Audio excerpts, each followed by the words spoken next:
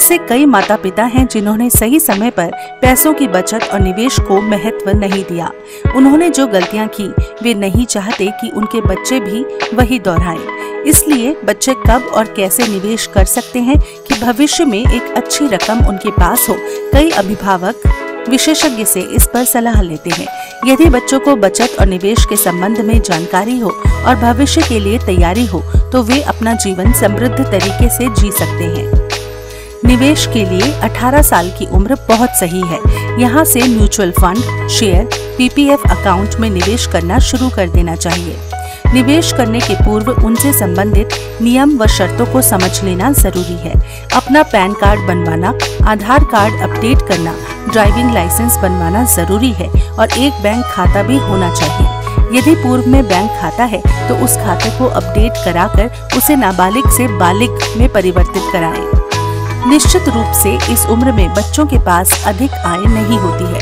अपनी pocket money में से खर्चों का प्रबंधन करके छोटी से छोटी बचत की शुरुआत की जा सकती है, जो भविष्य में काफ़ी सार्थक होगी। यहाँ बचत करने का मुख्य उद्देश्य खर्चों का प्रबंधन सीखना होता है, जिससे भविष्य में काफ़ी लाभ मिलते हैं।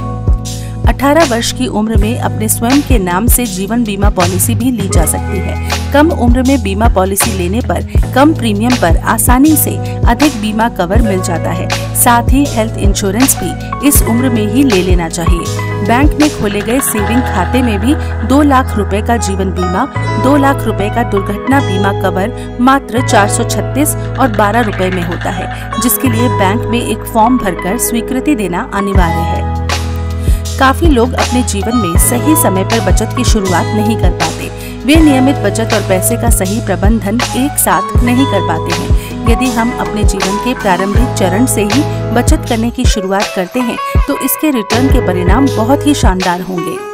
छोटी उम्र में बचत करने पर किस प्रकार से रिटर्न प्राप्त होगा, उसे हम एक उदाहरण से समझ सकते हैं। जिनकी उम्र 46 वर्ष है और वो अपने रिटायरमेंट के लिए तीस हज़ार रूपए प्रति माह अगले चौदह वर्ष के लिए बचत करते हैं और उस बचत पर 10 फ़ीसदी का अनुमानित रिटर्न प्राप्त करते हैं। 60 वर्ष की उम्र में उनकी कुल जमा राशि 50 लाख चालीस हज़ार रूपए होगी। वहीं उस राशि पर मिले रिटर्न के साथ उनकी कुल राशि एक करोड़ छह लाख सोलह हज़ार पाँच सौ दो रूपए होगी।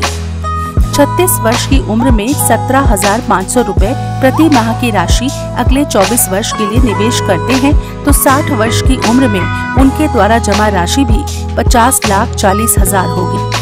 उन्हें कुल एक करोड़ पिचानवे लाख इक्यानवे हज़ार चौरासी की राशि प्राप्त होगी।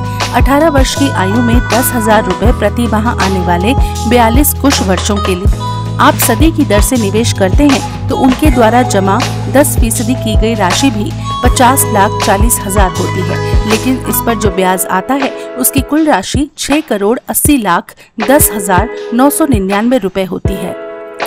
तीनों लोगों के द्वारा जमा की गई राशि समान थी, लेकिन अंतर था सिर्फ़ समय का, जिसके कारण वापस मिलने वाली राशि में काफ़ी ज़्यादा अंतर था। अगर आपको हमारा ये वीडियो पसंद आया हो तो हमारे channel The Vocal News Hindi को सब्सक्राइब ज़रूर करें और नोटिफिकेशंस के लिए बेल आइकॉन पर क्लिक कर दें। साथ ही लाइक शेयर और कमेंट करना भी ना भूलें। आप हमें फेसबुक इंस्टाग्राम और ट्विटर पर भी फॉलो कर सकते हैं और दिन भर की ताज़ा खबरों के लिए हमारी website Hindi dot the vocal news dot com पर लॉग ऑन कर सकते हैं।